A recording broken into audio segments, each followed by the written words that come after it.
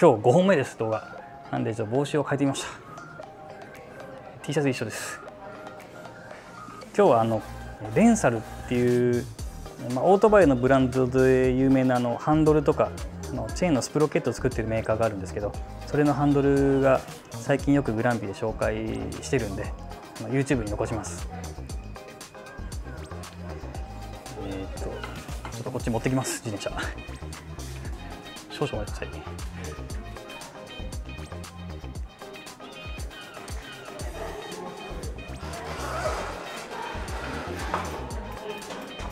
えっ、とレンサルっていうとですね昔僕があのホンダの XR250 っていうオフロードバイク乗ってたんですけどそのハンドルをレンサルでした。だからなんかレンサルっていう文字見ると懐かしいです。れがレンサルです。かっこいいです。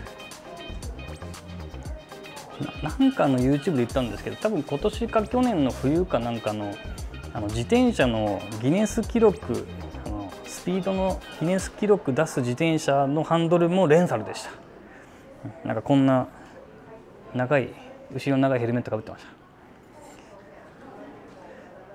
そうですね。まあ性能まあなんていうんですかね。まあ語ればちょっとあれなんですけどただ単純にかっこいいだけです。で最近はあの、まあ、31.8なんですけど35っていうのも入荷してるんであのそのうち店頭とオンラインにも載ると思います。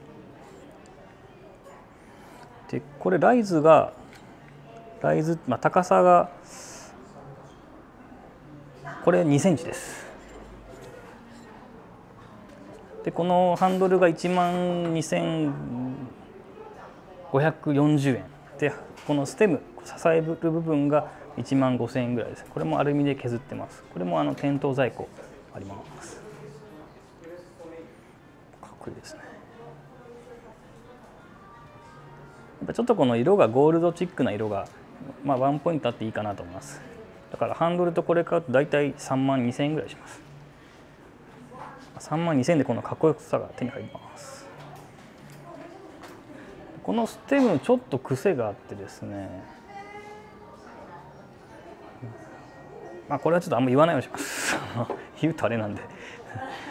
えっとですね。という紹介です。ちょ短かったダメダメダメダメ、えー、と僕のあの外のあのにあるオールシティの通勤自転車にもレンサルがついてます。で以前スチームローラーにもレンサルつけてました。で基本フラットバーの自転車は全部レンサルです。だからこのこのアイスクリームトラックのこれを見てファットバイクの人とかあとこの前納車した空手モンキーの方とかあとオールシティのあの人とかこのレンサルにしてもらってます。